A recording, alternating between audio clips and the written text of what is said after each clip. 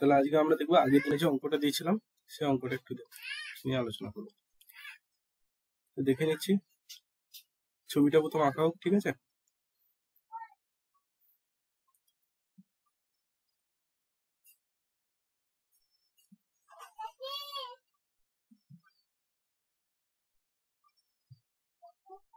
ঠিক আছে? তো এই পঞ্চভুজ দেওয়া ছিল, তাই তো?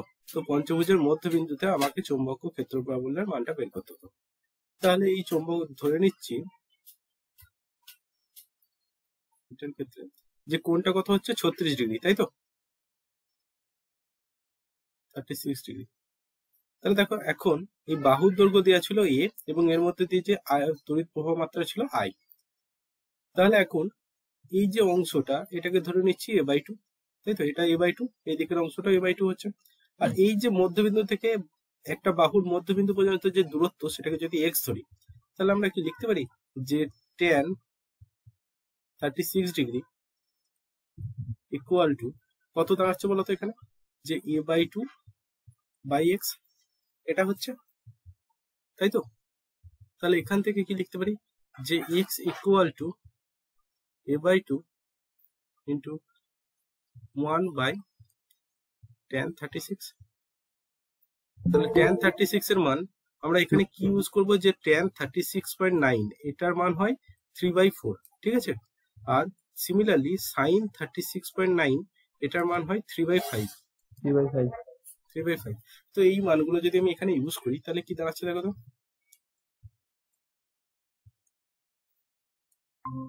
তাহলে এটা হয়ে যাচ্ছে দেখো এ বাই টু আর এই দিকে হচ্ছে থ্রি বাই ফোর তাই তো? এটা হচ্ছে থ্রি বাই ফোর তাহলে ইকুয়াল টু হচ্ছে দেখো এ বাই থ্রি আসছে কি? এক্স ইকুয়াল টু পেয়ে গেলাম টু এ বাই থ্রি এখন আমি যদি এই যে মধ্যবিন্দুতে চৌম্বক ক্ষেত্র প্রাবল্যের মানে এটাকে যদি বি নট ধরি তাহলে একটা বাহুর জন্য যে চৌম্বক ক্ষেত্র প্রাবল্য সেটা যদি বি ওয়ান হয় তাহলে কি দাঁড়াচ্ছে যে বি নট ইকুয়াল টু হচ্ছে ফাইভ ইন্টু বি ওয়ান এটা হবে তাই তো? হ্যাঁ। এখন দেখো বি ওয়ানের মানটা আমি যদি বের করতে চাই তাহলে বি ওয়ান ইকুয়াল টু কি পাচ্ছি যে mu naught into I by four pi into X X into কি ছিল? সাইন। এখানে হচ্ছে thirty six degree plus sine thirty six degree. এটা দাঁড়াচ্ছে। তাহলে এখান থেকে আমরা যদি মানগুলো বসাই, তো আসছে দেখো তো, যে mu naught into I by four pi into two A by three. এটা আর সাইন থার্টি সিক্স মানে হচ্ছে two into three by five. তাই তো? এটা দাঁড়াল। তা দেখো, টু টু কেটে যাচ্ছে। তাহলে এখান থেকে কি দাঁড়াচ্ছে দেখো? Three mu naught into I বা দেখো থ্রি থ্রির মান যদি গুণ করে দিচ্ছি, ওপরে নিচে একটা থ্রি আছে, তাহলে three into three three into three by নিচে কি হয়ে যাচ্ছে দেখো? ফোর ইন্টু ফাইভ পাই এটা আসছে। তাহলে বি নট ইকুয়াল টু কত বেরোচ্ছে? বি নট ইকুয়াল টু বেরোচ্ছে যে five into nine mu naught I by twenty pi which is equal to nine mu naught I by four pi এটা আছে তো? ওকে তাহলে আমরা বি নটের মানটা এটা পেয়ে গেলাম। এবার দেখো আগের দিন আমরা যে আলোচনা করছিলাম কি ছিল যে বায়োসাবাটের সূত্র তাই তো? তাহলে দেখো বায়োসাবাটের সূত্রটা কি ছিল? যে কোনো একটা পরিবাহীর মধ্যে দিয়ে যদি আই পরিমাণে তড়িৎ প্রবাহন হয় এবং তার চারদিকে একটা চৌম্বক ক্ষেত্র সৃষ্টি হচ্ছিল চৌম্বক ক্ষেত্র এবং চৌম্বক ক্ষেত্রের মানটা আমরা বায়োসাভার সূত্রের মাধ্যমে পাচ্ছিলাম, তাই তো? এবং এখানে যেটা হয় ডান হাতের বৃদ্ধাঙ্গুলির নিয়ম অনুসারে এই চৌম্বক ক্ষেত্র প্রাবল্যের মানটা হয়, দিকটা হয়। ঠিক আছে? তো দেখো, ডান হাতের বৃদ্ধাঙ্গুলি, তোমার আঙুলটা হাতগুলোকে, আঙুলগুলোকে যদি মুষ্ট করে থাকো, ঠিক আছে? এবং বুড়ো আঙুলটাকে যদি ওপর দিকে তুলে থাকো, তাহলে দেখো বুড়ো আঙুলটা বা বৃদ্ধাঙ্গুলটা, ঠিক আছে? ওটা যদি ওই দিকে যদি তড়িৎ প্রবাহ মাত্রা হয়, তাহলে তোমার যে আয়ের আঙুল, বাকি আঙুলগুলোর যে দিকে রয়েছে, সেই দিকে হবে কিসের মান? সেদিকে হবে চৌম্বক ক্ষেত্র প্রাবল্যের মান বা দিকটা। বোঝা গেছে? তার মানে যদি কারেন্টটা উপর দিকে যায় তাহলে এই ক্ষেত্রে চৌম্বক ক্ষেত্র প্রাবল্যটা হচ্ছে অ্যান্টি ক্লকওয়াইজ বুঝতে পারছ কি? আচ্ছা তো দেখো এইটা বোঝানোর জন্য আমাদের দুটো সাইন ইউজ করি। একটা হচ্ছে গোলের মধ্যে ডট আর একটা হচ্ছে গোলের মধ্যে ক্রস। এই গোলের মধ্যে ডট মানে বোঝায় এটা হচ্ছে ইনওয়ার্ড হ্যাঁ? স্যার স্কুল থেকে বুঝে যাবে না? হ্যাঁ স্ক্রু দিয়েও বোঝানো যায় ঠিক আছে? এবার এইটা হচ্ছে ইনওয়ার্ড আর এটা হচ্ছে আউটওয়ার্ড না স্যার ওই সরি এটা উল্টো। ক্রস মানে মানে হচ্ছে ভেতরে ভেতরে ঢুকবে। ক্রস হচ্ছে ভেতরে ঠিক আছে? ক্রস হচ্ছে এটা হচ্ছে ইনওয়ার্ড সরি এটা হচ্ছে ইনওয়ার্ড আর এটা হচ্ছে আউটওয়ার্ড মানে এটা হচ্ছে বাইরের দিকে বেরোচ্ছে। বাইরের দিকে বেরোচ্ছে বলতে যদি এইটা লুপ হয় এর ক্ষেত্রে এইটা বাইরে বেরোচ্ছে আর এর ক্ষেত্রে এটা হচ্ছে ভেতরে ঢুকছে। ঠিক আছে? তাহলে দেখো এই যে চৌম্বক ক্ষেত্রটা এর ক্ষেত্রে যদি দেখি তাহলে এর ক্ষেত্রে ভেতরে ঢুকছে কোনটা? এদিকে তাহলে এটা হচ্ছে এদিকে ক্রস আর এদিকে কি লিখব এদিকে হচ্ছে ডট বোঝা গেছে? ওকে এবার আজকে আমরা যেটা আলোচনা করব সেটা হচ্ছে অ্যাম্পিয়ারের বদ্ধপথের সূত্র।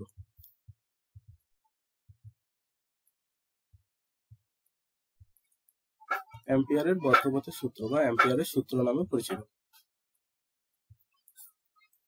তাহলে বলো তো অ্যাম্পিয়ারের সূত্রটা? অ্যাম্পিয়ারের সূত্র হচ্ছে যে কোনো বদ্ধপথ বা বন্ধনীর মধ্যে দিয়ে চৌম্বক্য আবেশ বা চৌম্বক্য ক্ষেত্র প্রাবল্যের রৈখিক সমাকল পথটিতে আবদ্ধ মোট তড়িৎ প্রবাহ মাত্রার মিউ নট গুণ বুঝতে পারলে মানে কোনো বদ্ধ পথ বা বর্তনীর চারদিকে যে চৌম্বক্য ক্ষেত্র প্রাবল্যের রৈখিক সমাকলের মান হবে, সেইটা হবে যে ওই বদ্ধ পথের মধ্যে দিয়ে যে তড়িৎ প্রবাহ মাত্রা যাচ্ছে, তার মিউ নট গুণ। বুঝতে পারছ? তাহলে দেখো, যদি মিউ নট বলতে কি বোঝাচ্ছে? যে মিউ হচ্ছে এই সাইনটা, এটা হচ্ছে মিউ, আর এই যে মিউ নট মানে হচ্ছে পরম ভেদ্যতা। এটাকে বলছি মিউ নট, বা শূন্য মাধ্যমে পরম ভেদ্যতা। বুঝতে পারছ? তাহলে এখানে অ্যাম্পিয়ারের সূত্রের গাণিতিক রূপটা কি দাঁড়াচ্ছে? যে ক্লোজড ইন্টিগ্রেশন রৈখিক সমাকল মানে B dot DL equal to হচ্ছে মিউ নট ইন্টু আই এটাই হচ্ছে অ্যাম্পিয়ারের সূত্রের গাণিতিক রূপ।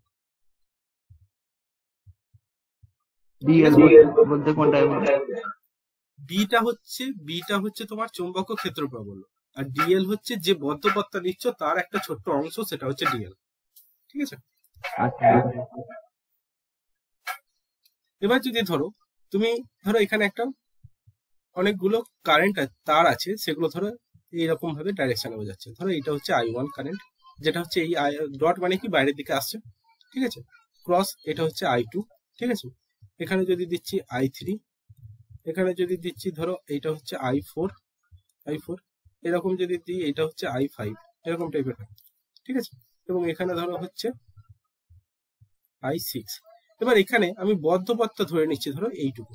এই অংশটা বদ্ধপথ হচ্ছে তাহলে এই বদ্ধপথের মধ্যে দিয়ে মোট কারেন্ট কি আছে বলতো? মোট কারেন্ট বদ্ধপথে মোট কারেন্ট প্লাস মোট কারেন্ট ইকুয়াল টু হচ্ছে আই ওয়ান প্লাস মাইনাস কারণ এর ডাইরেকশনটা আলাদা। বিপরীত তাই তো? তাহলে হ্যাঁ, এটাই হচ্ছে বদ্ধপথে। তাহলে এর ক্ষেত্রে অ্যাম্পিয়ারের সূত্র কি হয়ে যাবে? যে B dot DL equal to হবে যে mu naught into sum over I অর্থাৎ mu naught into I one plus I three minus I five. ঠিক আছে? এবার আমরা যেটা দেখব, এই অ্যাম্পিয়ারের সূত্রের প্রমাণ। প্রমাণ। তাহলে এই প্রমাণটা কি দেখব এই প্রমাণটা দেখতে গেলে আমাকে বায়োসভার সূত্রটাই নিয়ে আসতে হচ্ছে। তাহলে ধরে নিচ্ছি যে এটা একটা তড়িৎবাহী তার, সরু, দীর্ঘ এবং অসীম। ঠিক আছে? এবং এর মধ্যে দিয়ে আই পরিমাণে তড়িৎ পরিবহন হচ্ছে। তাহলে এর ক্ষেত্রে যে কোনো একটা বিন্দু ধরে নিচ্ছি, সেটা হচ্ছে ধরো এই রকম একটা বদ্ধ পথ ধরছি, এই বদ্ধ পথে অবস্থিত একটা বিন্দু, সেটা হচ্ছে পি ঠিক আছে? এবং এর মধ্যে একটা অংশ, সেটা হচ্ছে ও এবং এই যে দূরত্বটা, এটা হচ্ছে আর দূরত্ব। ঠিক আছে? তাহলে দেখো বায়োসভাটের সূত্র থেকে আমরা কি লিখতে পারি? বায়োসভাটের সূত্র থেকে বি ইকুয়াল টু কি হবে? তাহলে বি ইকুয়াল টু হচ্ছে mu naught into I by two pi R তাই তো? এটা হচ্ছে বায়োসভাটের সূত্র থেকে পাই। যখন অসীম দৈর্ঘ্যের তার হবে, ঠিক আছে? তাহলে এখন দেখো, এর ক্ষেত্রে বদ্ধপথের একটা ছোট্ট অংশ ডিএল তার মানে ডিএলটা হচ্ছে বদ্ধপথের একটা ছোট্ট অংশ, এটাই হচ্ছে ডিএল এখন বি এর ডাইরেকশনে কোন দিকে হয়? বি এর ডাইরেকশনে এইদিকে হয়। তাহলে দেখো বি ও ডিএল বি ও ডিএল এই দুজনের দিক একই। এক দিক একই। দিক একই। তাহলে দিক একই মানে থিটা ইকুয়াল টু কত হচ্ছে? জিরো তাহলে এখন আমি যদি ইন্টিগ্রেশন বি ডট ডিএল করি তাহলে এটা ইকুয়াল টু কি হয়ে যাচ্ছে? Integration B DL into cos zero তাই তো? তাহলে ইকুয়াল টু কি দাঁড়াচ্ছে? দেখো বিটা যদি কনস্ট্যান্ট হিসেবে বাইরে বের করে দিই তাহলে ইকুয়াল টু হয়ে যাচ্ছে যে বি ইন্টু ডিএল ওকে তাহলে এখান থেকে দেখো বি এর মানটা কত পেয়েছি? বায়োসাবাটের সূত্র থেকে mu naught I by two pi R তাই তো এখন দেখো ডিএল হচ্ছে এই যে বদ্ধপথটা করেছি গোলাকার বদ্ধপথটা এর একটা ছোট্ট অংশ। তাহলে পুরোটার যখন ইন্টিগ্রেশন নেব তাহলে কি হবে?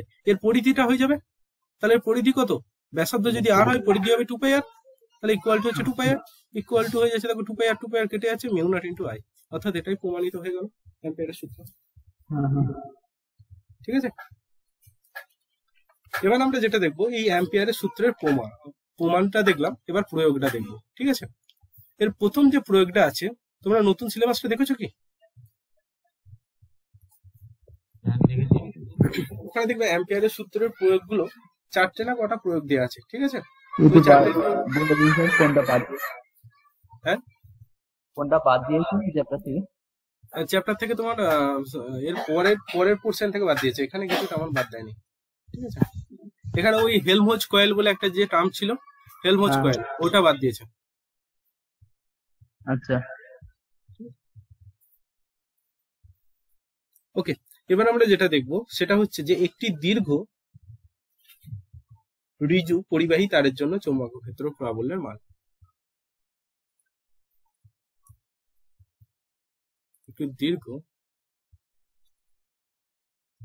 রিজু পরিবাহী তারের জন্য চৌম্বক ক্ষেত্র প্রাবল্যের মান। তাহলে এটাই হচ্ছে বায়োসাভার সূত্রের মাধ্যমে আমরা অনেক কষ্ট করে করেছিলাম। এটাই যদি অ্যাম্পিয়ারের সূত্র আমরা প্রয়োগ করি, তাহলে দেখো খুব সহজে এটা বেরিয়ে যাবে। ধরে নিচ্ছি এটা দীর্ঘ একটা সুদীর্ঘ মানে হচ্ছে অসীম টাইপের তার মধ্যে দিয়ে আয় পরিমাণে তড়িৎ পরিমাণ হচ্ছে। এবার আমরা এর আগে যেটা অ্যাম্পিয়ারের সূত্রে প্রমাণ করলাম, দেখেছ তো? এই যেটা করব, এটা হচ্ছে তারই উল্টো। মানে আমরা করেছিলাম বায়োসাভার সূত্র দিয়ে অ্যাম্পিয়ারের সূত্র, এখন আমরা আসব অ্যাম্পিয়ারের সূত্র থেকে ওই বিয়ের মানটা। বোঝা গেছে? মানে পুরো উল্টো ব্যাক ক্যালকুলেশন যাকে বলা যায়। ওকে তাহলে এখানে এখানে একটা পি বিন্দু, এই পি বিন্দুতে আমাকে চৌম্বক ক্ষেত্র প্রাবল্যের মানটা বের করতে হবে। পি বিন্দুটা তার থেকে যে দূরত্ব, সেটা হচ্ছে আর ঠিক আছে? তাহলে এখান থেকে দেখো, আমি কি লিখতে পারি? যে B dot DL equal to হচ্ছে মিউ নট ইন্টু আই এটাই ছিল অ্যাম্পিয়ারের সূত্র, তাই তো? হ্যাঁ। তাহলে এখান থেকে দেখো বি এর ডাইরেকশনও এইদিকে, এদিকে এল এর ডাইরেকশন একই দিকে। তাহলে এখান থেকে একদম লিখতে পারি B integration DL closed integration DL equal to হচ্ছে মিউ নট ইন্টু আই তাই তো? তাহলে এখান থেকে দেখো বি ইন্টিগ্রেশন ডিএল মানে কি? ওই পরিধিটা দাঁড়াচ্ছে। তাহলে B into two pi R equal to হচ্ছে মিউ নট ইন্টু আই অর্থাৎ বি ইকুয়াল টু কি দাঁড়াচ্ছে? যে mu naught into I by two pi R মানে দেখো, আগের প্রসেসটা যা করলাম, এটা তার উল্টো।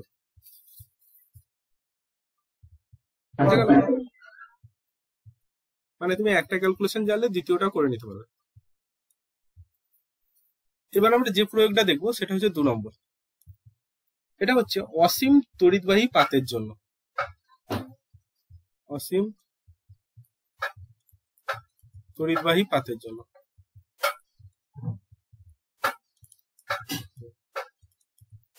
একটা ছবিটা আঁকা যাক। তো ধরে নিচ্ছি এটা একটা অসীম। এরকম একটা পাথ ঠিক আছে? এটা একটা অসীম পাথ এবং ওই যে তড়িৎবাহী পাতটা রয়েছে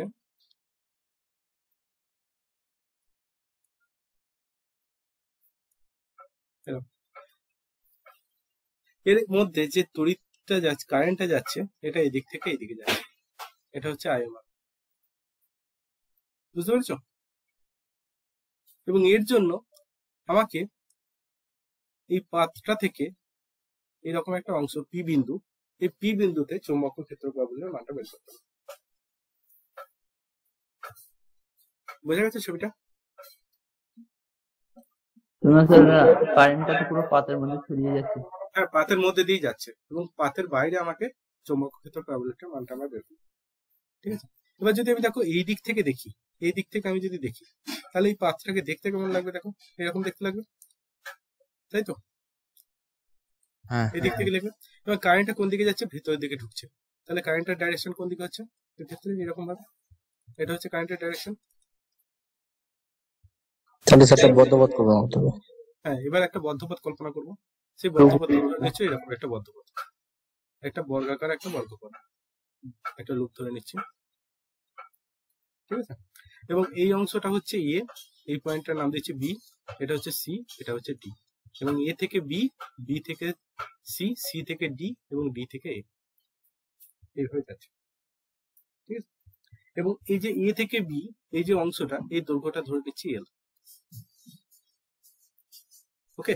তাহলে দেখো অ্যাম্পিয়ারের বদ্ধপথের সূত্র কি ছিল? যে B dot DL equal to কি ছিল? Mu naught into I. তাই তো? তাই তো? তাহলে এখান থেকে দেখো বি ডট ডিএলটাকে যদি আমি ভাঙি, কীভাবে ভাঙবো? যে এ থেকে B B dot DL plus B থেকে C B dot DL plus C থেকে D B dot DL plus D থেকে এ বি ডট ডিএল এভাবে ভাঙতে পারি তো? ইকুয়াল টু হচ্ছে মিউ নট ইন্টু আই পুরো বদ্ধ বত্তার ক্ষেত্রে, করা যায় তো? এবার একটা জিনিস দেখো, এর ক্ষেত্রে যে চৌম্বক ক্ষেত্রফল বলে দিক হয়, এটা দেখা যায় যে চৌম্বক ক্ষেত্রফল বলে দিকটা হয় এই দিক এরকম অনুযায়ী চৌম্বক ক্ষেত্রফলের দিকটা। তাহলে দেখো, এই যে চৌম্বক ক্ষেত্রফল বলে দিক এবং বিসি এর বিসি এর ডিএল কোন দিকে? এইদিকে তাহলে মধ্যবর্তী কোণের ক্ষেত্রে থিটা ইকুয়াল টু কত? নাইনটি ডিগ্রি আবার এর ক্ষেত্রে ডি এ এর ক্ষেত্রেও থিটা ইকুয়াল টু কত হচ্ছে? নাইনটি ডিগ্রি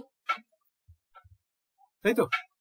তাহলে এই যে দুটো term B dot DL B dot DL কে কি আমি ভাঙতে পারি? B DL into cos cos ninety degree তাহলে কস নাইনটি ডিগ্রি মানে কত? জিরো দুটো নাম দিয়ে যাবে। জিরো তার মানে এই টার্মটা জিরো আবার এই টার্মটাও জিরো হয়ে যাচ্ছে। দুটো টার্ম জিরো হয়ে যাচ্ছে। তাই তো? তাহলে এখান থেকে আমি কি লিখতে পারি? ওই যে হ্যাঁ বলো। বলছি অরেঞ্জে যে অ্যারোটা দিয়েছেন ওটা কিসের আরও অরেঞ্জের যে অ্যারো দিয়েছি বলতে। এটা এটা এটা আগে এইটা এইটা? হ্যাঁ হ্যাঁ এইটা হচ্ছে তোমার বদ্ধ পথটা এটা হচ্ছে বদ্ধ পথটা কোন দিকে আমি নিচ্ছি? এ থেকে বি বি থেকে সি সি থেকে ডি এইভাবে। ডিএল এর দিক। হ্যাঁ ওটা ডিএল এর দিক। ঠিক আছে? এবার এই ক্ষেত্রে যদি আমি লিখি তাহলে কি দাঁড়াচ্ছে দেখো বি ইন্টু ডিএল। এক্ষেত্রে কোন কত? একই দিকে। প্লাস এক্ষেত্রে হচ্ছে সি থেকে D B DL. Equal to হচ্ছে মিউ নট ইন্টু আই তাই তো? কারণ এই দুটোর ক্ষেত্রে কোণের মান কত হচ্ছে? একই দিক বরাবর প্রায় বি মানে মান এইদিকেও হতে পারে বিয়ের এর দিক এইদিকেও হতে পারে সেটা আমরা জানি না। তো তাই জন্য আমরা করে নিচ্ছি কি দুটোর দিকে একই? বোঝা গেছে? হ্যাঁ হ্যাঁ। তাহলে এক্ষেত্রে আমরা করে দিতে পারি দেখো। এবার যদি ওই ছোট্ট অংশটা এ থেকে বিয়ের অংশ দৈর্ঘ্য কত ছিল? এল ছিল তাই তো? তাহলে এক্ষেত্রে আমি লিখতে পারি বি ইন্টু এ থেকে B DL plus B into C থেকে ডি বিডিএল সরি ডিএল এটা লিখতে পারি তো? ইকুয়াল টু হচ্ছে মিউ নট ইন্টু আই হ্যাঁ। এবার দেখো এ থেকে বি এর অংশ দৈর্ঘ্য কত ছিল? এল ছিল। তাহলে এর ইন্টিগ্রেশন কত হবে? এল তাহলে দুটোটা আমি দেখো এ থেকে বি এর যতটা দৈর্ঘ্য সি থেকে ডি এর দৈর্ঘ্য একই? দুটোই তো এল হ্যাঁ স্যার। তাহলে এটাও হয়ে যাচ্ছে বিএল প্লাস এটাও হয়ে যাচ্ছে বিএল তাহলে ইকুয়াল টু হয়ে যাচ্ছে মিউ নট ইন্টু আই অর্থাৎ বি ইকুয়াল টু কি দাঁড়াচ্ছে? বি ইকুয়াল টু দাঁড়াচ্ছে mu naught into I by two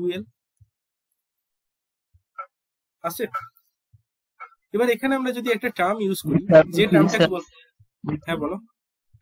বলো। বলছি আইটা কি পুরোটা পাওয়া যাবে? কেন ওইটুকু বদ্ধপথের মধ্যে তো পুরো হ্যাঁ, তার জন্য তার জন্যই তার জন্যই আমরা এখানে একটা টার্ম ইউজ করব যেটাকে বলব যে রৈখিক প্রবাহ ঘনত্ব। রৈখিক প্রবাহ ঘনত্ব। রৈখিক প্রবাহ ঘনত্ব। তাহলে রৈখিক প্রবাহ ঘনত্ব বলতে কি বোঝাবো? এটাকে জে দিয়ে ইউজ করব। রৈখিক প্রবাহ ঘনত্ব হবে আই বাই এল মানে প্রতি একক দৈর্ঘ্যে যে আয়ের মান। তাহলে এই মানটা যদি লিখি তাহলে বি ইকুয়াল টু কি দাঁড়াচ্ছে? বি ইকুয়াল টু দাঁড়াচ্ছে দেখো mu naught into J by two বোঝা গেছে? মানে প্রতি একক দৈর্ঘ্যে যে প্রবাহ মাত্রার মান সেটাকে আমি লিখছি জে হিসাবে। হ্যাঁ ঠিক আছে? এবার তো ঠিক আছে? হ্যাঁ। হ্যাঁ ঠিক আছে। এবার যে কোশ্চেনটা তোমাদের পরীক্ষায় খুবই আসে সেটা আমরা দেখব। সেটা হচ্ছে সলিনয়েডের ক্ষেত্রে। তো তোমরা তোমাদের বাড়িতে কি রেডিও কাবির আছে? রেডিও দেখেছ? পুরোনো দিনের হ্যাঁ স্যার দেখেছি। রেডিওর পেছনে যখন ব্যাটারি চেঞ্জ করবে তখন দেখবে যে পেছনে একটা তামার একটা তার দেখবে খুব জড়ানো থাকে একটা পাইপের মধ্যে। খেয়াল করেছ কি? হ্যাঁ হ্যাঁ। ওই যে তারটা জড়ানো থাকে ওটা বেসিক্যালি সলিনয়েড ঠিক আছে?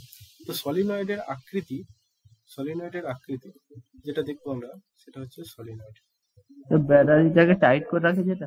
না ব্যাটারি টাইট না ব্যাটারি তো নিচে লাগাই রেডিও উপরটা মানে। ও রেডিওর উপরে দেখবে একটা তামার তার দেখবে জড়ানো থাকে। ঠিক আছে? ওই আকৃতিটা দেখবে এইরকম টাইপের দেখতে হয়। এরকম। এরকম টাইপের প্যাঁচালো এরকম প্যাঁচালো দেখতে। মানে স্প্রিং এর মতো অনেকটা। হ্যাঁ ঠিক হ্যাঁ আছে?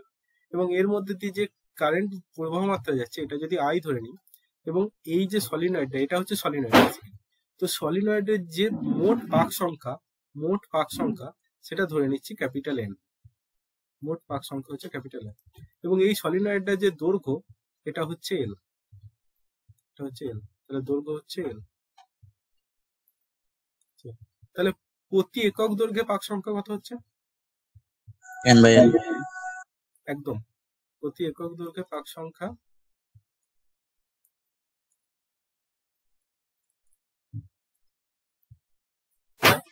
হচ্ছে এন বাই এল এই যে এন বাই এল এই টার্মটাকে বলব স্মল এন দিয়ে। স্মল এন ঠিক আছে? স্মল এন দিয়ে ডিনোট তাহলে এখন দেখো এই সলিনয়েডের ক্ষেত্রে যখন আমি ক্যালকুলেশনটা করব তখন এর ক্ষেত্রে আমি একটা লুপ কল্পনা করব। তাহলে এই একটা লুপ আমি কল্পনা করছি। ঠিক আছে? এই লুপটা এটা হচ্ছে এ এটা হচ্ছে বি এটা সি এটা ডি তাহলে এ থেকে বি বি থেকে সি সি থেকে ডি এবং ডি থেকে এ এইভাবে একটা পুরো লুপ তৈরি হচ্ছে। এবং সলিনয়েডের ক্ষেত্রে দেখা যায় যে চৌম্বক ক্ষেত্র প্রাবল্যের মানটা, সেটা চৌম্বক ক্ষেত্র প্রাবল্য শুধুমাত্র বাইরে ভেতরেই পাওয়া যায়। মানে ভেতরের বিন্দুতেই বি এর মান থাকে। ঠিক আছে? এবং বাইরে এর চৌম্বক ক্ষেত্র প্রাবল্যের মান বি ইকুয়াল টু হয় জিরো সলিনয়েডের বাহিরে। ঠিক আছে? বোঝা গেল? আচ্ছা।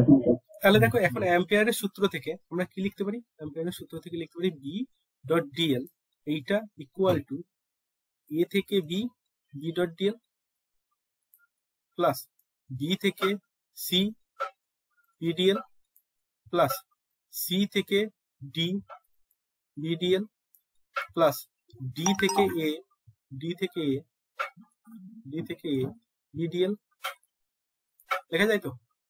তাহলে এখন দেখো এ থেকে যাবে তো। হ্যাঁ? স্যার সি আর ডি বিন্দু জিরো যাবে না? হ্যাঁ সি এই অংশটা জিরো কারণ এইদিকে বি এই দিকে আর এর ক্ষেত্রে ডিএল হচ্ছে বি সি এর ডিএল হচ্ছে এই বাইরের দিকে আর ডি থেকে এর দিক হচ্ছে উপর দিকে। তাহলে এই দুটো টার্ম কোন দুটো টার্ম জিরো হয়ে যাচ্ছে? এই দুটো টার্ম জিরো হয়ে যাচ্ছে কারণ কি? Cos 90 ইকুয়াল টু হচ্ছে জিরো তাহলে এই টার্মটাও জিরো হয়ে যাচ্ছে। cos 90 ইকুয়াল টু হচ্ছে জিরো তাহলে এই টার্মটাও জিরো ওকে আবার দেখো বাইরে যে টার্মটা সি থেকে ডি এ, এই টার্মে বি ইকুয়াল টু জিরো আছে, তাই তো? তাহলে বি ইকুয়াল টু জিরো হলে এই টার্মটাও অলসো জিরো তার মানে এটাও জিরো এটাও জিরো এটাও জিরো তিনটে টার্মই জিরো হয়ে গেল। তাই তো? তাহলে থাকল কে টার্মটা শুধুমাত্র এই টার্মটা তাই তো? তাহলে এখান থেকে আমরা কি লিখতে পারি? যে এ থেকে বি বি ডট ডিএল এই আসছে। তাহলে ইকুয়াল টু দেখো বি আর ডিএল এর দিক কোন দিকে হচ্ছে এর ক্ষেত্রে একই দিকে, তাই তো? তাহলে B DL cos zero cos zero মানে ওয়ান তাহলে এখান থেকে লিখতে পারি এ থেকে বি বিটাকে যদি বাইরে বের করে দিই, তাহলে ডিএল এ থেকে বি ডিএল ঠিক আছে? এবার এ থেকে বি ডিএল যদি আমি এই ছোট্ট অংশটা নিয়েছি ডিএল ঠিক আছে? এই যদি পুরোটার ক্ষেত্রে আমি যদি ইন্টিগ্রেশনটা করি, তাহলে কতটা হবে? এই ডিএল এর ইন্টিগ্রেশন করলে এল হবে, তাই তো? তাহলে ইকুয়াল টু কত হয়ে যাচ্ছে? ইকুয়াল টু হচ্ছে বি ইন্টু এল তাই তো হ্যাঁ বিএল মিজোরে নাই। তাহলে এখান থেকে দেখো আমার অ্যাম্পিয়ারের বদ্ধপথের সূত্র থেকে কি পাচ্ছিলাম? যে B dot DL equal to হচ্ছে মিউ নট ইন্টু এন ঠিক আছে? এখন দেখো এখানে প্রত্যেকটা লুপের ক্ষেত্রে কারেন্ট আই যাচ্ছে তাই তো তাহলে প্রত্যেকটাতে যদি আই যায় তাহলে এন সংখ্যকের ক্ষেত্রে কত হচ্ছে? এন ইন্টু আই তাহলে ক্যাপিটাল এন এটা হয়ে যাচ্ছে অ্যাম্পিয়ারের সূত্রটা এখন। তাহলে এখান থেকে আমি কি পেয়ে যাচ্ছি? যে B dot DL equal to পেয়েছি বিএল ইকুয়াল টু হচ্ছে mu naught into I into capital N তাহলে এখান থেকে বি ইকুয়াল টু কি পাচ্ছি? যে mu naught into I into capital N by L তাই তো? তাহলে ইকুয়াল টু কি পেয়ে যাচ্ছি? যে mu naught into I into small N okay হ্যাঁ স্যার এটা- ওখানে এলটা হ্যাঁ বলো। এলটা এ বি কে বোঝাই তো? এল হ্যাঁ না এলটা আমি একটা ছোট্ট অংশ নিয়েছি কিন্তু যখন ইন্টিগ্রেশনে মানে ফেলেছি ইন্টিগ্রেশন করার পর আমি পুরো দৈর্ঘ্যটা নিয়েছি। মানে পুরো দৈর্ঘ্যটা সলিনয়েডের পুরো দৈর্ঘ্যটা। বুঝা গেছে হ্যাঁ হ্যাঁ। এবার তাহলে এটা দিয়ে একটা অঙ্ক করা হোক যে অঙ্কগুলো তোমাদের পরীক্ষার সময় আসে ওকে? অঙ্কটা একটু লিখছি ঠিক আছে? বলছি একটি দীর্ঘ সলিনয়েডের সলিনয়েডের প্রতি একক সেন্টিমিটারে।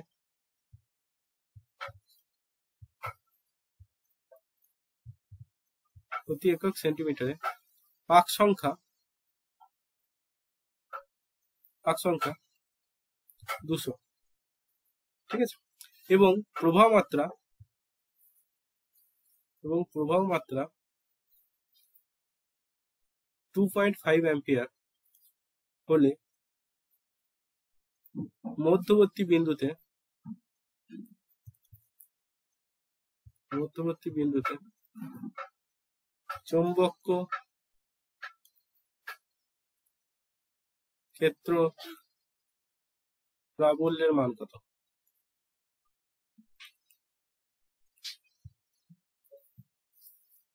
অঙ্কটা বুঝতে পেরেছ?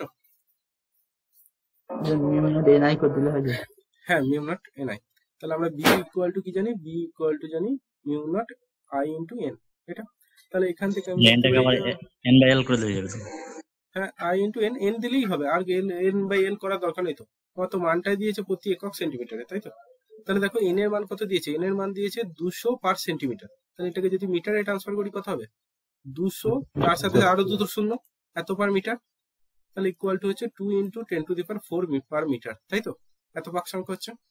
আর আই ইকুয়াল টু কি হচ্ছে? আই ইকুয়াল টু হচ্ছে টু পয়েন্ট ফাইভ অ্যাম্পিয়ার তাই তো তাহলে এখন মানগুলো যদি বসিয়ে দাও মিউ নটের মান কত হয়? Four pi into ten to the power minus seven এটা হচ্ছে মিউ নটের মান। ঠিক আছে? ইন্টু আই এর মান হচ্ছে two point five into two into ten to the power four যদি করি, কত আসছে দেখো তো? দেখো ten to the power minus seven R ten to the power four কেটে গেলে কত হয়ে যাচ্ছে? Ten to the power minus three তাই তো আবার দেখো four into two point five কত হয়ে যাচ্ছে? টেন তার মানে ten to power minus two তাহলে এখানে হয়ে যাচ্ছে two pi into ten to power minus two এটা আসছে কি?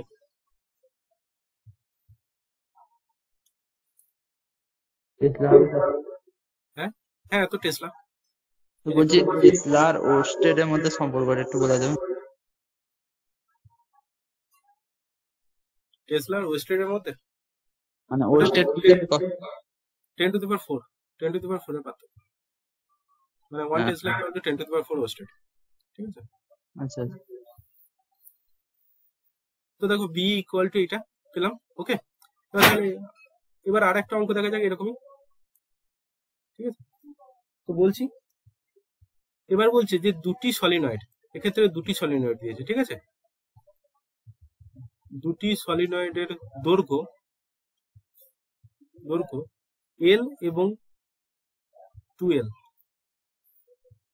ও পাক সংখ্যা, ও পাক সংখ্যা, ক্যাপিটাল এন ও ফোর এন। হলে এদের মধ্যে দিয়ে বা এর মধ্যে দিয়ে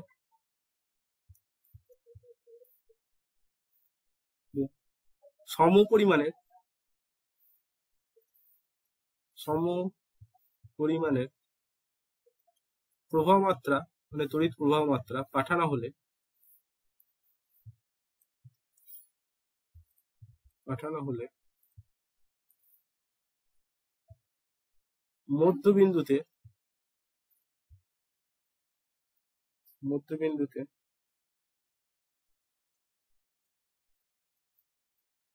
চৌম্বক ক্ষেত্র চৌম্বক ক্ষেত্রদ্বয়ের অনুপাত কত হলো? বুঝে গেল কোশ্চেনটা? ওয়ান ইস টু এইট হবে দেখি একটু চেক করে। ঠিক আছে? তাই দেখো প্রথম সলিনয়েডটা এখানে লিখছি এদিকে লিখছি প্রথম আর এদিকে হচ্ছে দ্বিতীয়। ঠিক আছে? তাহলে প্রথমের জন্য যে দৈর্ঘ্য সেটা দিয়েছে এল ওয়ান ইকুয়াল টু হচ্ছে এল আর এক্ষেত্রে এল টু ইকুয়াল টু হচ্ছে টু এল তাই তো? এক্ষেত্রে এন ওয়ান ইকুয়াল টু দিয়েছে এন আর এক্ষেত্রে এন টু ইকুয়াল টু কত দিয়েছে? ফোর এন তাই তো? এক্ষেত্রে আই ইকুয়াল টু আই এক্ষেত্রে আই ইকুয়াল টু আই দুটো সেম তাহলে দেখো বি ওয়ান যদি আমি ধরি বি ওয়ান ইকুয়াল টু কি ছিল? Mu naught into I into N one equal to mu naught into I into N one by L one লেখা যায় তো? হ্যাঁ ইকুয়াল টু কি দাঁড়াচ্ছে? Mu naught into I into N by L আর এর ক্ষেত্রে দেখো বি টু ইকুয়াল টু কি দাঁড়াচ্ছে? যে mu naught into I into four N by two L তাহলে ইকুয়াল টু কি দাঁড়াচ্ছে? দেখো mu naught into I into two N by L তাহলে ইকুয়াল টু লিখতে পারি B one by two B one লেখা যেতে পারে? কারণ এখানে টু টাইম একটা টু রয়েছে। তাহলে এখন B one is two B two করব তাহলে ইকুয়াল টু কত দাঁড়াচ্ছে? দেখো ওয়ান ইস টু টু বেরোচ্ছে। হ্যাঁ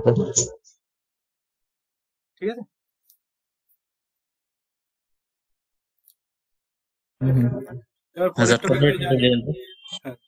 এবার পরের পরের টপিকটা যা যাক পরের টপিকটা হচ্ছে যে যেটা কিন্তু পরীক্ষায় খুব আসে এটা কিন্তু ভালো করে তোমরা মনে রাখবে মুখস্থ তথস্থ যা ইচ্ছা করে রাখবে ঠিক আছে আমি দেখেছি যে তোমাদের যে ইয়ার ওয়াইজ যে কোশ্চেনগুলো আসে ঠিক আছে তো ওই অল্টারনেটিভ কোশ্চেনে এই টরয়েডটা খুব আসে ওকে তো এবার দেখো, টরয়েডটা দেখতে কেমন হয়? টরয়েডটা জাস্ট সলিনয়েডের মতোই, কিন্তু সলিনয়েডটা লম্বা, এটা হয় গোলাকার। ঠিক আছে? এর ক্ষেত্রে যে প্যাচটা থাকে, এরকম ভাবে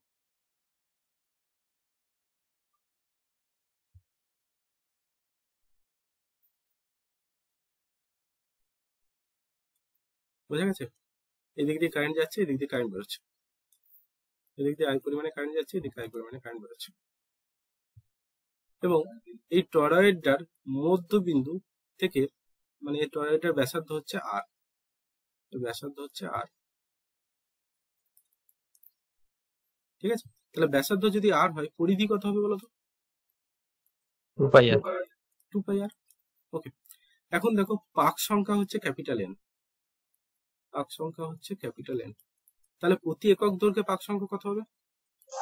N by two by R প্রতি একক দৈর্ঘ্যে পাক সংখ্যা।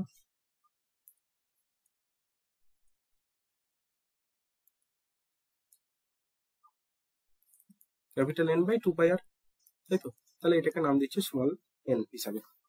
ওকে এবার এখানেরই তুমি যদি একটা ছোট্ট অংশ ধরো ছোট্ট অংশ ধরো একটা ছোট্ট অংশ ধরা হচ্ছে। তাহলে এর ক্ষেত্রে এটা হচ্ছে এ এটা বি এটা সি এটা ডি তাহলে এ থেকে বি বি থেকে সি সি থেকে ডি আর ডি থেকে এ ডি থেকে এ ঠিক আছে? তাহলে দেখো এর ক্ষেত্রেও দেখা যায় যে চৌম্বক ক্ষেত্রটা এর মধ্যবিন্দু দিয়ে যাবে। বিটা এদিক দিয়ে। তার মানে এর ক্ষেত্রে বিটা এইদিকে এটা হচ্ছে বি এবং বাইরের বিন্দুতে বি ইকুয়াল টু জিরো তাহলে বাইরের বিন্দুতে যদি বি ইকুয়াল টু জিরো হয়, তাহলে কি লিখতে পারি? যে ইন্টিগ্রেশন যখন আমরা করব সি থেকে ডি সি থেকে D B dot DL B dot DL equal to কত হবে? জিরো তাই তো? আবার দেখো বি এর ডাইরেকশন হচ্ছে এইদিকে। বি থেকে সি এর ডিএল এর অংশ কোন দিকে? উপর দিকে, তাহলে মধ্যবর্তী কোণ কত? নাইনটি ডিগ্রি তাহলে কি লিখতে পারি? যে বি থেকে সি এর যে বি ডট ডিএল এটা ইকুয়াল টু কত হচ্ছে? ইকুয়াল টু হয়ে যাচ্ছে বি থেকে C D DL cos ninety degree তাই তো? তাহলে ইকুয়াল টু জিরো সিমিলারলি যখন আবার ডি থেকে এতে আসব ডি থেকে তখন কি দাঁড়াচ্ছে যে B dot DL also zero কারণ এক্ষেত্রেও নাইনটি ডিগ্রি তাই তো তাহলে আমাদের অ্যাম্পিয়ারের সূত্রে যেটা পাচ্ছি close integration B dot DL equal to কি হবে? যে mu naught into N into I তাই তো কারণ এখানে পাক সংখ্যা কত হচ্ছে? ক্যাপিটাল এন তাহলে এর ক্ষেত্রে এই যে B dot DL equal to কি দাঁড়াচ্ছে? শুধুমাত্র এ থেকে বি বি ডট ডিএল তাই তো ইকুয়াল টু হচ্ছে mu naught into I into capital N তাহলে এখান থেকে দেখো ডিটাকে যদি বাইরে বের করে দিই এদের মধ্যবর্তী কোন কথা হচ্ছে? বি আর ডিএল এর জিরো ডিগ্রি তাহলে কস জিরো মানে ওয়ান তাহলে এটা হয়ে যাচ্ছে এ থেকে বি ডিএল ইকুয়াল টু হচ্ছে mu naught into I into N এটা আসছে তো? হ্যাঁ। এখন দেখো যদি এর পুরো পরিধিটা ডিএল তো একটা পরিধির ছোট্ট অংশ মানে বৃত্তাকার চাপের একটা অংশ তাহলে বৃত্তাকার চাপ যদি হয়, তাহলে পুরোটার ক্ষেত্রে যদি ইন্টিগ্রেশন করব, কি হবে? পরিধিটাই আসবে, তাই তো? তাহলে B into two pi R হয়ে যাচ্ছে ইকুয়াল টু কি দাঁড়াচ্ছে? Mu naught into I into capital N অর্থাৎ বি ইকুয়াল টু কি দাঁড়াচ্ছে? যে mu naught into I by capital N by two pi R equal to কি দাঁড়াচ্ছে? Mu naught into I into small N অর্থাৎ দেখো সলিনয়েডের ক্ষেত্রে বি এর মান যা পেলাম, এর ক্ষেত্রেও তাই পেলাম। তাই তো? হ্যাঁ স্যার এটাতে শুধু টু বাই ভাগ করে দিতে হবে। হ্যাঁ এটা টু পাই আর কি আর ওখানে এল তাহলে এখানে একটা জিনিস দেখছ?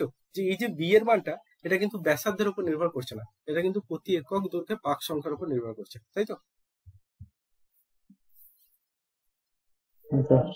হ্যাঁ স্যার যত ব্যাসার্ধ বাড়ছে তত কমছে এটা বিয়ের মানটা। না সেটা আলাদা সংখ্যা। এবার যদি তোমার প্রতি একক দৈর্ঘ্যে পাক সংখ্যাটা যদি নির্দিষ্ট থাকে তাহলে তো তোমার ব্যাসার্ধের সাথে কোনো নির্ভরই করছে না। করছে কি? যদি পা- প্রতি একক দৈর্ঘ্যে পাক সংখ্যা একটা নির্দিষ্ট তুমি রাখো তখন তুমি ব্যাসার্ধ যা খুশি করো মানটা তো কোনো চেঞ্জ হবে না। হ্যাঁ হ্যাঁ। ওকে এবার তাহলে এটা দিয়ে আর একটা অঙ্ক দেখা হোক ঠিক আছে? তিন নম্বর অঙ্ক এটা। বলছে একটি ten into ten to the power minus two metre ব্যাসের ব্যাসের টরয়েডের মোট পাক সংখ্যা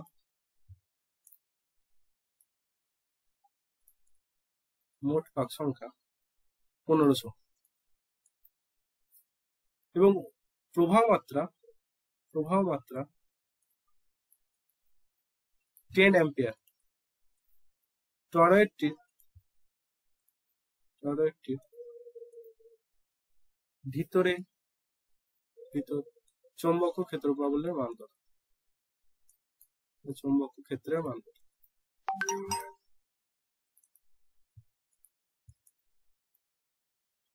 তাহলে ফর্মুলা কি ছিল? বি ইকুয়াল টু তাহলে এখান থেকে লিখতে পারো যে mu zero I into capital N by two pi R তাই তো? তাহলে এখন দেখো ব্যাস দেওয়া আছে কোশ্চেনে কোশ্চেনে তো ব্যাস দেওয়া আছে। ব্যাসার্ধ দেওয়া- দেওয়া নেই। তাহলে ইকুয়াল টু আমি কি লিখতে পারি? Mu naught I into capital N by pi into এর ব্যাসটা? ব্যাসের জায়গায় ডি বসাচ্ছি ডায়ামিটার ডি ঠিক আছে? তাহলে এখন ফর্মুলাগুলো যদি বসাই কি ধর হচ্ছে মিউ নট এর মান কত? Four pi into ten to the power minus seven তাই তো? ইন্টু এন এর মান কত দিয়েছে? পনেরোশো। ডিভাইডেড বাই পাই ইন্টু কত হয়ে যাচ্ছে দেখো? স্যার আই এর মান দেওয়া আছে। হ্যাঁ, এটা হচ্ছে ten to the power minus one লিখতে পারি একেবারে। Ten into ten to the power minus two মানে তো ten to the power minus one তাই তো? আর আয়ের মান দিয়ে আছে কত? দশ। আয়ের মান দিয়ে আছে দশ। ঠিক আছে? ঠিক আছে তো? তাহলে দেখো এখানে পাই পাই কেটে যাচ্ছে। পাই পাই কেটে যাচ্ছে প্রথমে কেটে দিলাম। ঠিক আছে? আর এখানে দেখো টেন টু দি পাওয়ার পাওয়ার এখানে প্লাস ওয়ান এখানে। এখানে একটা পাওয়ার থ্রি আর এইদিকে মাইনাসটা উপরে উঠলে প্লাস হয়ে যাচ্ছে ফোর হয়ে যাচ্ছে। তাই তো? তাহলে এটাকে লিখতে পারি যে four into fifteen into ten to the power plus four আছে প্লাস ফোর আর মাইনাস সেভেন হচ্ছে মাইনাস থ্রি এটা? তাহলে দেখো চার ইন্টু পনেরো সিক্সটি তাই তো? তার মানে six into ten to power minus two দেখা যায়? এত টেসলা হ্যাঁ স্যার স্যার আমাকে ডিটা জায়গাটা বলে দিন তো। কোনটা? স্যার ডি লিখছেন। আর ডি আরে ব্যাসার্ধ মানে কি? ব্যাস ইকুয়াল টু কি হয়? টু ইন্টু ব্যাসার্ধ? তাহলে এখানে হ্যাঁ। টু আর এর জায়গায় জাস্ট ডি লিখেছি। ব্যাসা- ব্যাসের জায়গায় আমি ডি লিখেছি। ডি ফর ডায়ামিটার ব্যাসের ইংরেজি তো ডায়ামিটার ঠিক আছে। ওকে এবারে দেখো এই যে কিছু কিছু বিশেষ ক্ষেত্রে আমরা যেটা দেখব যে চৌম্বক ক্ষেত্রের মান হয় শূন্য। তো সেটা আমরা একটু দেখব কি কি বিশেষ ক্ষেত্রে চৌম্বক ক্ষেত্রের মান শূন্য হয়?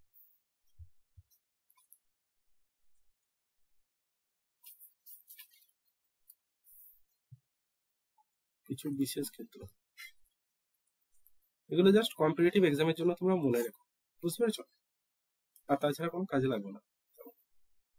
তো ধরে নিচ্ছে, ধরো এটা একটা লুপ এরকম একটা লুপ তো ধরো এই দিক দিয়ে কারেন্ট যাচ্ছে আই আর এই দিক দিয়ে কারেন্ট যাচ্ছে আই তো দেখো এখানে কারেন্ট আই তাহলে এই কারেন্টটা দেখো দুভাগে ভাগ হয়ে যাবে এইদিকে আর এইদিকে তাই তো? তাহলে এইদিকে হবে আই বাই টু এদিকে হবে আই বাই টু সিমিলারলি এইদিকেও যাচ্ছে কত? আই বাই টু আবার এইদিকেও যাচ্ছে আই বাই টু তাহলে এইদিকে কত যাচ্ছে আই তাহলে এখন যদি এর ক্ষেত্রে মধ্যবিন্দুতে চৌম্বক ক্ষেত্র বলে মান বের করতে বলে, তাহলে কত হবে? জিরো বোঝা গেছে? সিমিলারলি যদি এরকম সার্কিট থাকে, যে এর ক্ষেত্রে এইরকম, তাহলে এই ক্ষেত্রে তোমার চৌম্বক ক্ষেত্র প্রাবল্যের মান কি হবে মধ্যবিন্দুতে? বি ইকুয়াল টু জিরো ঠিক আছে? কিছু বিশেষ ক্ষেত্রে যেখানে বি ইকুয়াল টু জিরো হবে। আবার দেখো যদি কোনো একটা ত্রিভুজাকারের ক্ষেত্রে দেখো, তাহলে তার ক্ষেত্রে ধরো এই দিক দিয়ে কারেন্ট ঢুকছে আই এই দিক দিয়ে কারেন্ট বেরোচ্ছে আই তাহলে এর ক্ষেত্রেও মধ্যবিন্দুতে বি ইকুয়াল টু জিরো বুঝা গেছে? আবার যখন গোলাকারের ক্ষেত্রে দেখবে, এদিক দিয়ে কারেন্ট যাচ্ছে আই এদিক দিয়ে কারেন্ট যাচ্ছে এদিক করে যাচ্ছে, তাহলে এর ক্ষেত্রে মধ্যবিন্দুতে বি ইকুয়াল টু হবে জিরো বুঝতে পেরেছ?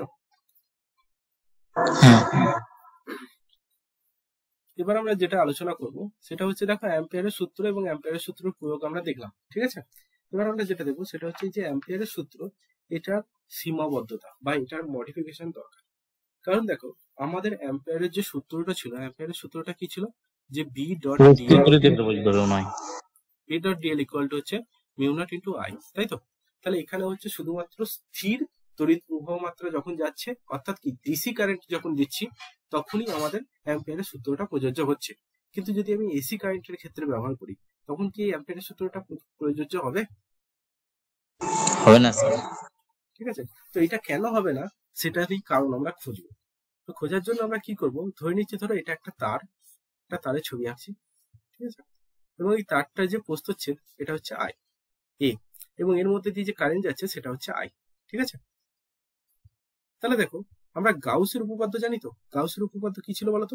যে E dot TS equal to কি ছিল বলতো? কিউ বাই এপসাইলন নট উভয় তাই তো? তাহলে এখন দেখো এর মধ্যে যে তড়িৎ ক্ষেত্র যেটা হবে সেটা যদি লিখি এর ক্ষেত্রে প্রস্থচ্ছেদ কত আছে? এ তাহলে ওই প্রস্থচ্ছেদের মধ্যে দিয়ে লিখতে পারি E into A equal to Q by epsilon naught তাহলে এখান থেকে কিউ ইকুয়াল টু কত পেয়ে যাচ্ছি? Epsilon naught into A into E তাই তো? হ্যাঁ। তাহলে এই এবার দেখো, যদি আমাদের পরিবর্তী প্রবাহ দেখছিলাম বা এসি কারেন্টের ক্ষেত্রে দেখছিলাম, সেক্ষেত্রে কি হয়? যে কারেন্টের মান সবসময় চেঞ্জ হচ্ছে প্রতি মুহূর্তে, তাই তো? একবার পজিটিভ একবার নেগেটিভ একবার পজিটিভ একবার নেগেটিভ এইভাবে চেঞ্জ হচ্ছে। তাহলে যদি এরকম চেঞ্জ হয়, তার মানে কি? আধানেরও পরিবর্তন হচ্ছে।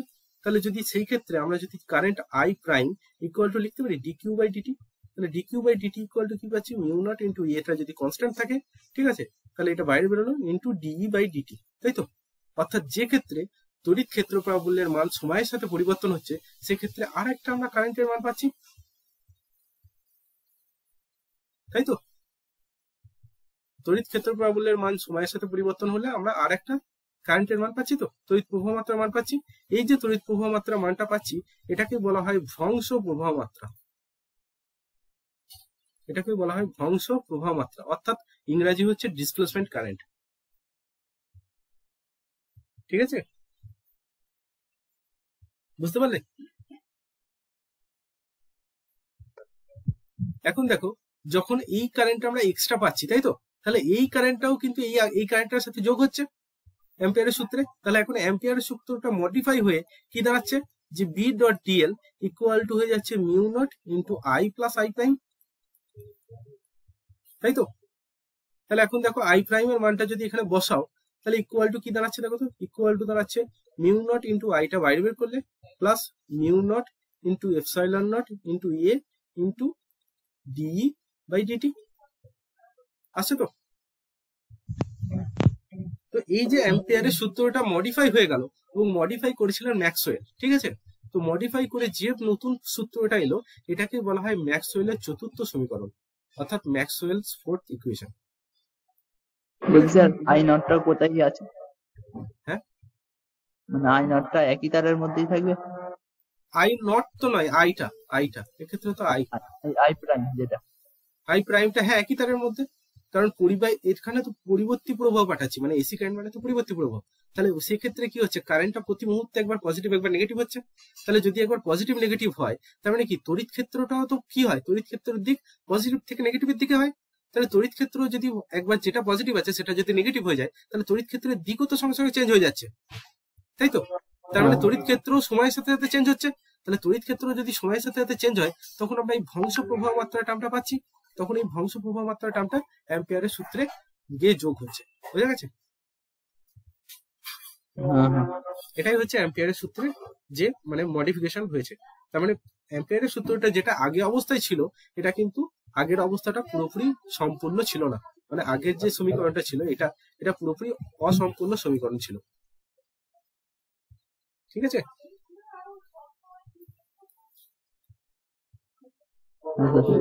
ওকে আজকের ক্লাস তাহলে এখানেই সমাপ্ত করছি।